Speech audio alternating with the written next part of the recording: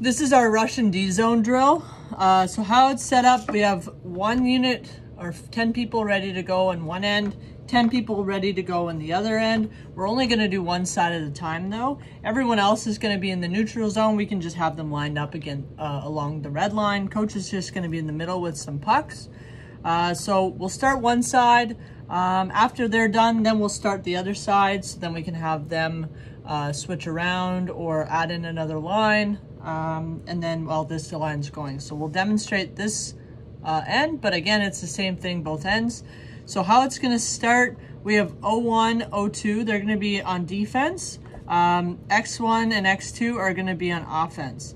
So how it's gonna start, it starts with a one versus one. So we'll start out of this corner, X2 versus O2.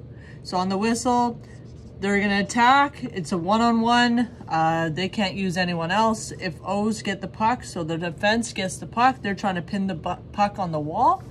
Um, the attacking is obviously trying to score a goal. They'll let that go for about 10 seconds. Next whistle, they lose that puck, so they drop it wherever it is. X1 and O1 are gonna attack now too. So O1's gonna try and defend. X1's trying to attack. They can add uh, X2 into the play. So now it's a two versus two, really down low. Um, again, they can't use anyone else. Uh, it's just a two on two uh, trying to score a goal. Next whistle, X3 takes one or two steps in. They're gonna take a shot on net. And at the same time, 03, 04, and 05 are gonna come back through the middle.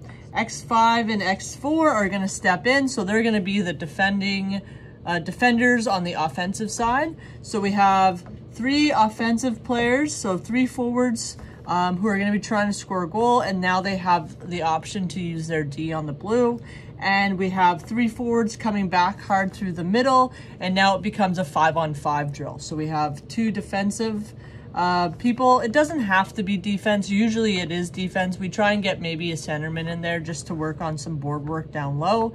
Um, but usually it's going to be your, your two defense, and then we have three forwards coming again, hard back through the middle. It plays five on five. This time we're trying to get the uh, defensive unit to actually break the puck out and pass back to the uh, coach right on the center line. Um, and then obviously the attacking players are trying to score a goal.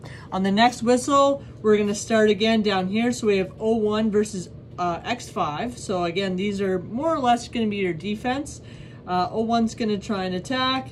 They're going to try and defend. Again, next whistle, they lose that puck and it becomes a two on two, really down low. Next whistle, one or two strides, we're going to take a shot and then all three uh, defensive forwards can come back hard through the middle. We want them to come through the middle first so then they can uh, recognize how to get into their defensive positioning. And again, the offensive team's defense can now join the play as well.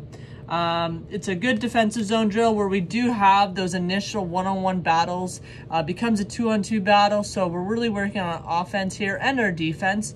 Um, and then again, when we do blow the whistle, um, for that third player, we have a shot, so there's gonna be a rebound. How do we react off a rebound? How do we come back in the zone? How do we talk to each other? Um, so really good drill uh, to work on both sides, offense and defense.